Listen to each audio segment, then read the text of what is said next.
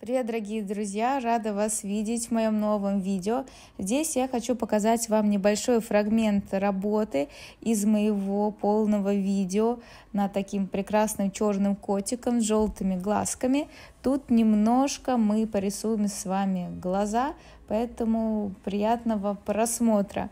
Кто хочет э, забрать себе полное видео по описанию ниже, можно будет его получить карандаш, да, повторюсь, тут должен быть прям а, максимально черный, тот, который у вас есть. Самые такие мягкие, это, скорее всего, какие-то угольные карандаши, могут быть любые, да. Если у вас несколько черных, вы можете сделать выкраску и посмотреть, а, какие будут у вас потемнее. Вот этот, как ни странно, один из черных, который я там использовала, это был калур, который, который вот эти не очень хорошие китайские а, карандашики, на которые я делала обзор как-то, да, а, но для вот таких моментов, где они смешиваются с другими, я использую.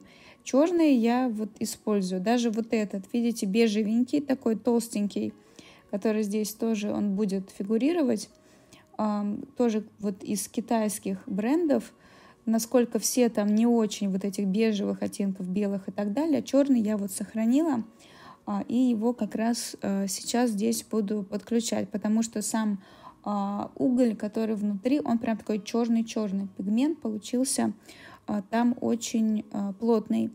И все равно идет э, смесь с мелками, с другими карандашами, поэтому я надеюсь, что его светостойкость низкая, она будет как-то объединяться с другими, и все будет в порядке. Ну, кстати, по прошествии времени могу сказать, что нормально, да.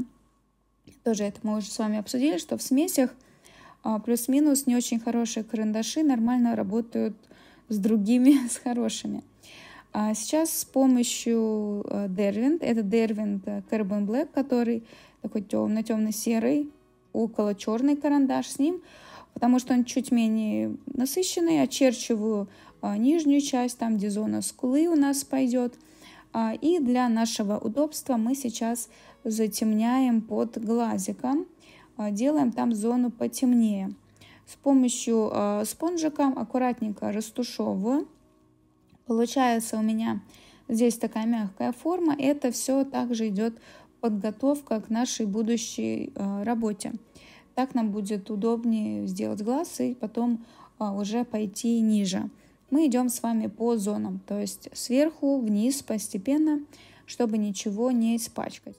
Затемняем внешний уголок глазика, который слева.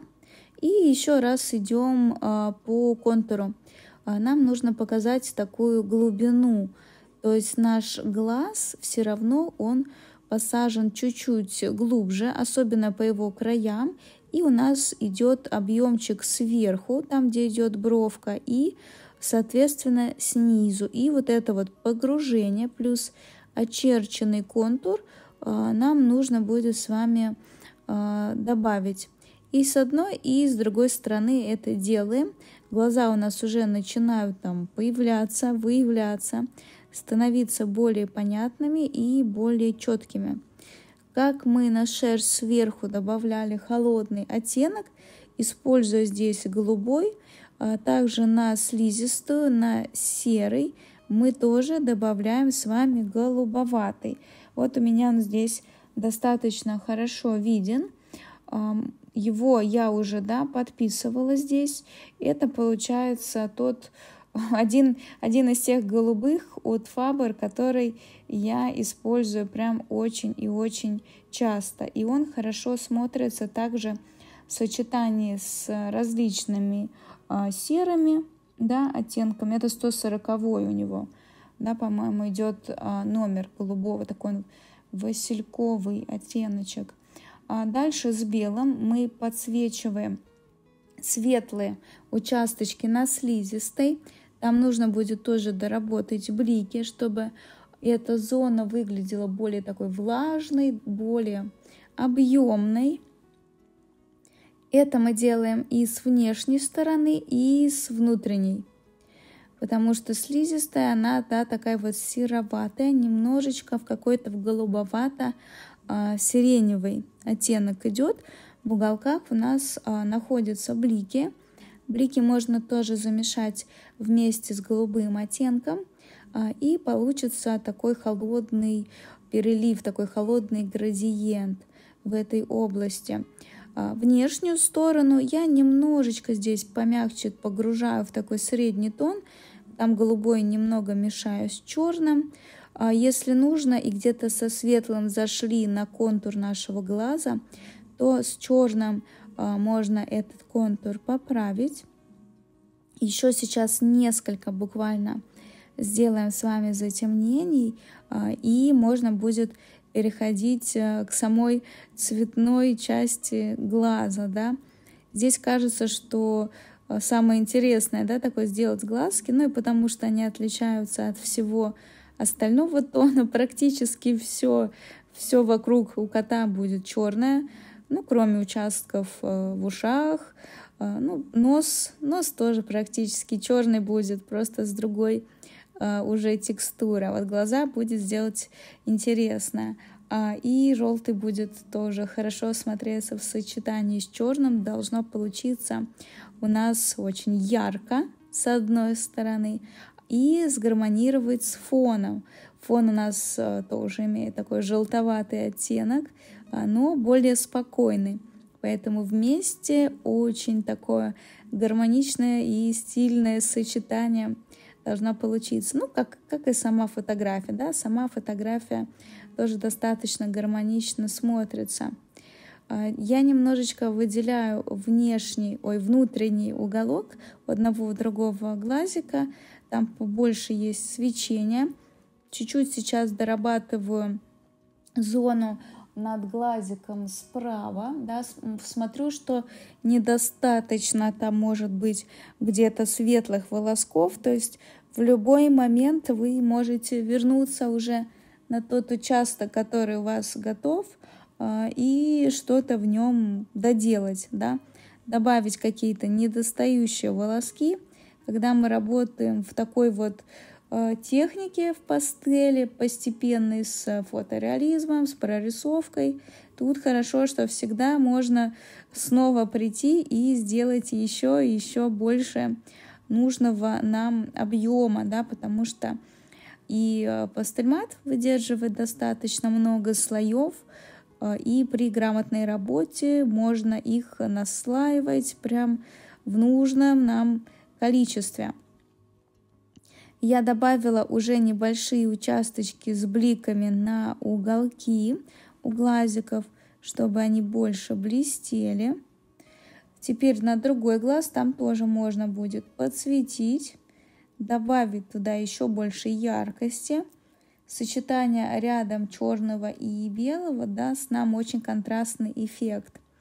И теперь а, мы приступаем с вами уже к самим глазкам будем использовать несколько разных желтых оттенков, а, но все они будут достаточно теплыми по своему цвету. Я имею в виду, что именно вот в такой кадми желтый мы уходим в такую золотистую, а, нежели какой-то лимонный. У нас глаза прям действительно такие солнечные, теплые, а, по оттеночку должны получиться.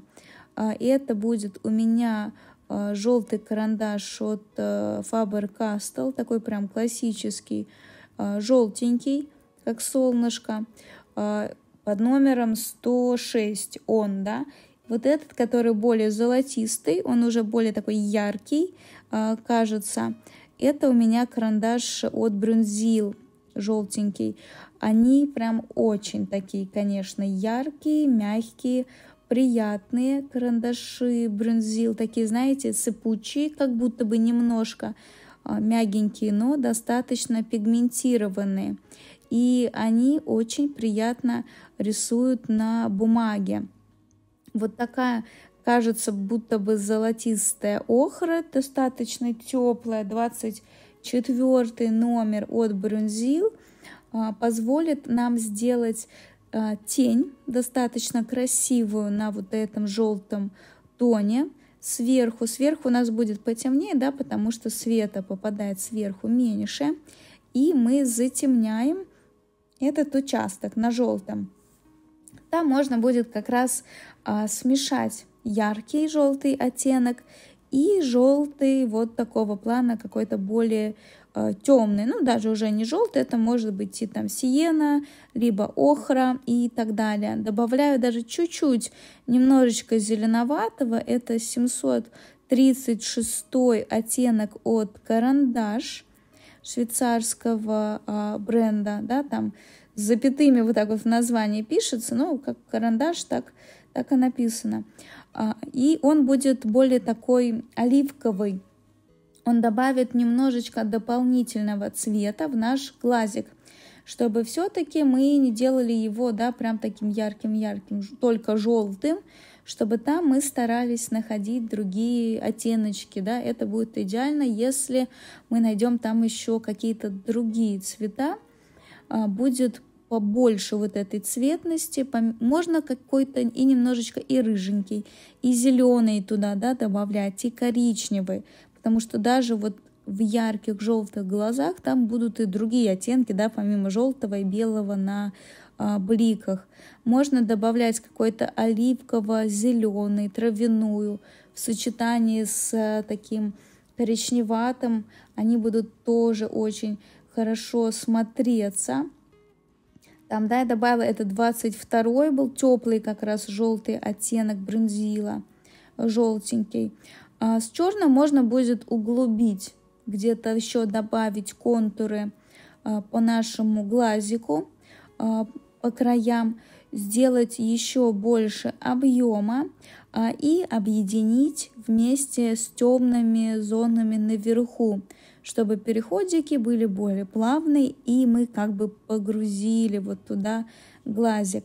Размешать э, эти тона можно с каким-то красноватым коричневатым, с вот таким, например, э, и черным объединить еще разочек, получится мягкий переход, но в то же время граница будет э, достаточно заметна.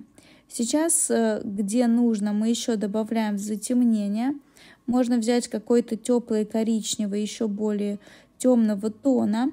Он нам понадобится и на местечках снизу. У меня вот такой вот шоколадный 590 от Derwent.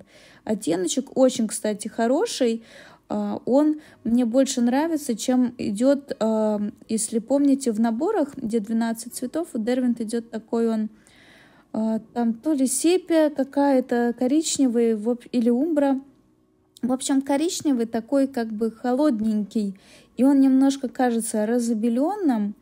А если, по-моему, в больших наборах, либо дополнительно, по-моему, даже в большем наборе у Дервинта идет как раз вот этот шоколадный, и он более такой даже пигментированный, кажется, более насыщенный, и его прям вот отлично использовать вот в таких э, теплых участках, да, желтых, оранжевых, даже красных и так далее.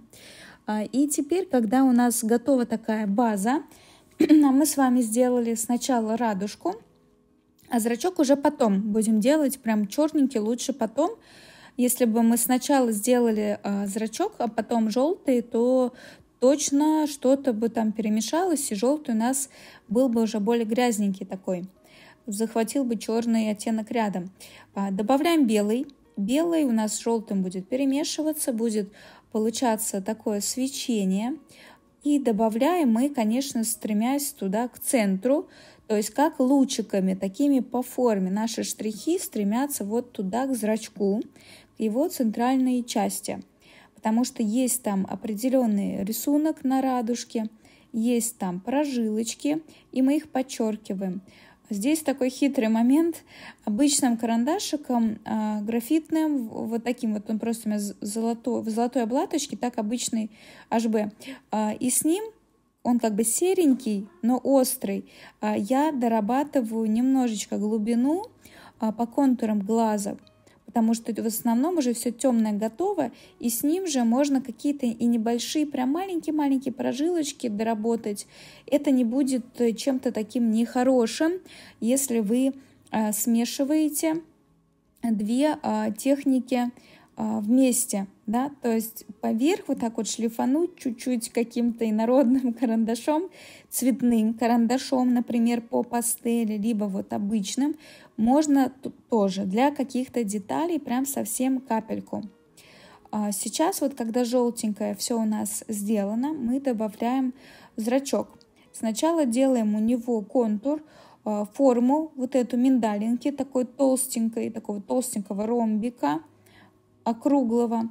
Дальше мы заполняем нашими карандашами, можно мелками, используем прям самый, э, самый черный, все, что у нас есть, самое-самое черное. Но оставляем в верхней части а, такой небольшой кружочек, который мы заполним более холодным тоном, и у нас там должен быть блик.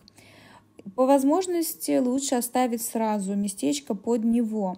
Если бы у нас блик был бы меньше по размеру или он был бы а, более, например, а, таким маленьким, прям вот маленькая бы точечка, нам было бы удобно закрасить все и сделать его поверх.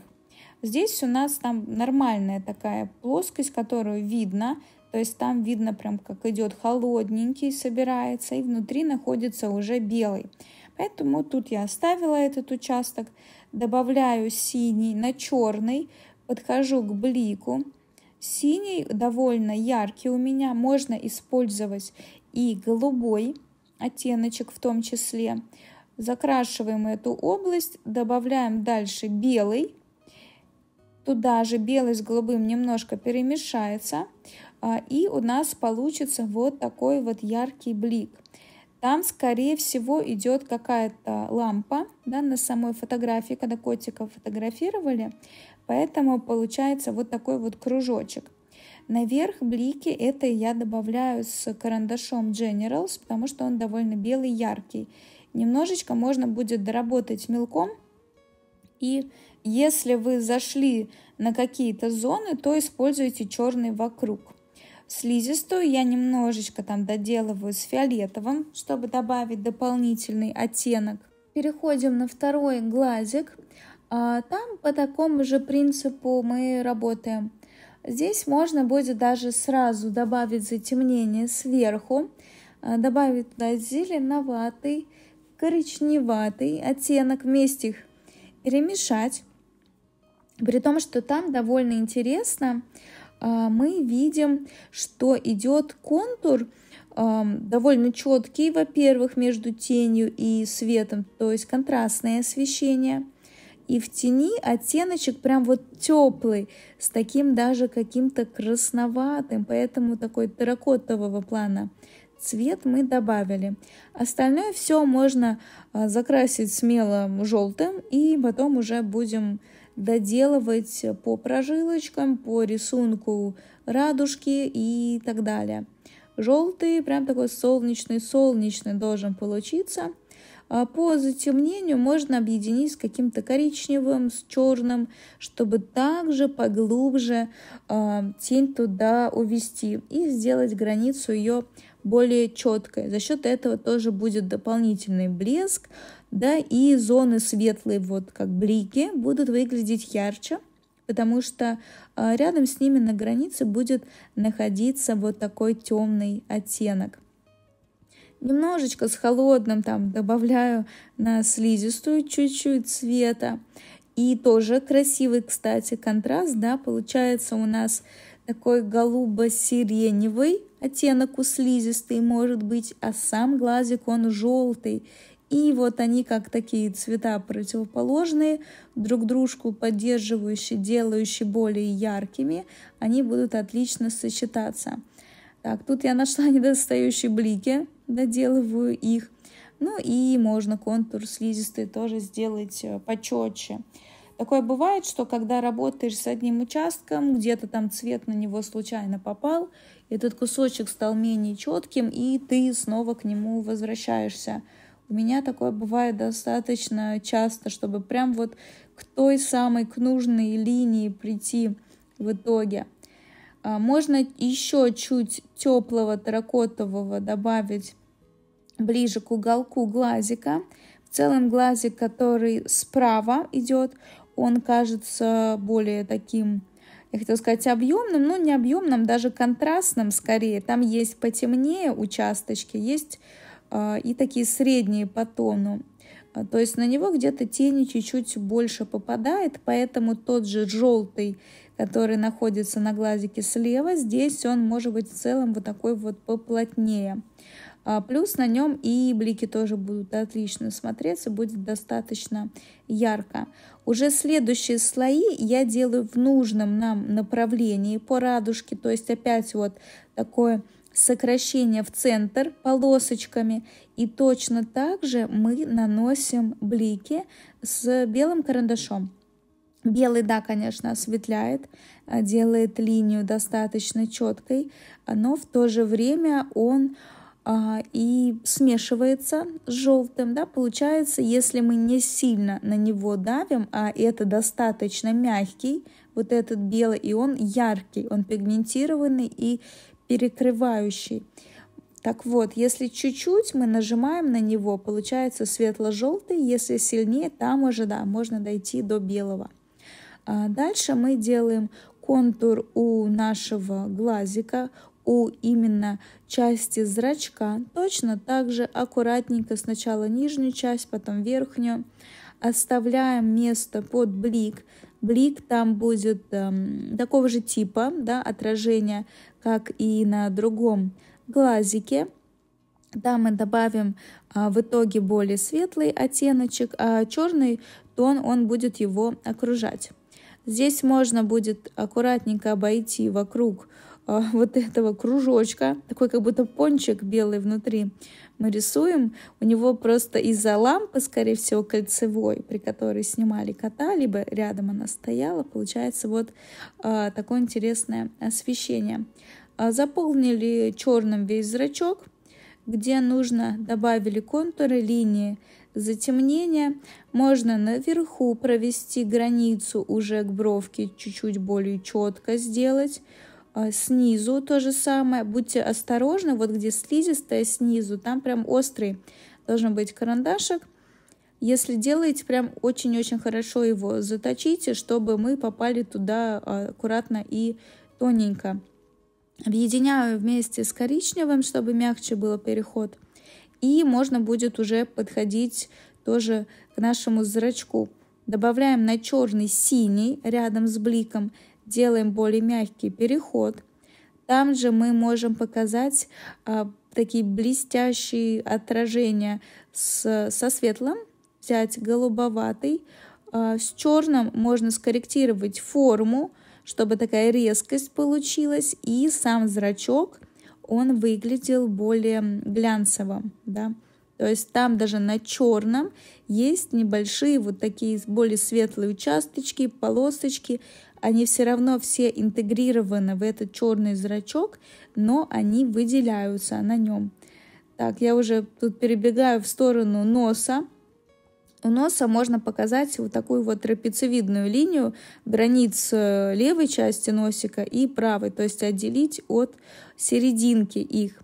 Показываем небольшие участки э, с щечками, Переходим на щечку, которая справа, ну, скорее даже не щечку, участок э, скулы здесь у нас э, будет. Слева, потому что границу мы показали. Будем сейчас все это соединять вместе с глазками. Для этого я использую мелок. Это у меня Кахинор Тойсон Дор, на нем видно, вот здесь нужной стороной штрихую, здесь все видно. А, из набора он не, не очень мягкий, такой, это средней мягкости получается, просто софт, не экстра софт. А, дальше я растушевываю, вот так вот смягчаю, то есть распределяю цвет, чтобы очень много его не было на поверхности, потому что это подложка, по ней мы будем работать. И вот здесь, посмотрите, мы добавили черный, как наглядно, ярко а, смотрится этот участок с глазками теперь. Насколько глаза у нас выделились эффектно и ярко. Вот с левой стороны, если мы сравним с вами рисуночек, а, как выглядит глаз, и справа, справа прямо он уже очень эффектный, очень насыщенный получился. Когда весь котик будет готов, то это будет прям вау-эффект. Ну что, вот такой кусочек я вам небольшой показала от полного видео. Надеюсь, вам было интересно. Если кто хочет порисовать со мной этого кота, обязательно переходите по ссылочке снизу. Там можно будет оставить заявку, забрать это видео, посмотреть на этот урок, и можно будет выбрать какие-то другие а, онлайн-уроки по пастели. Спасибо вам большое за просмотр. Увидимся в следующем видео. Пока, друзья!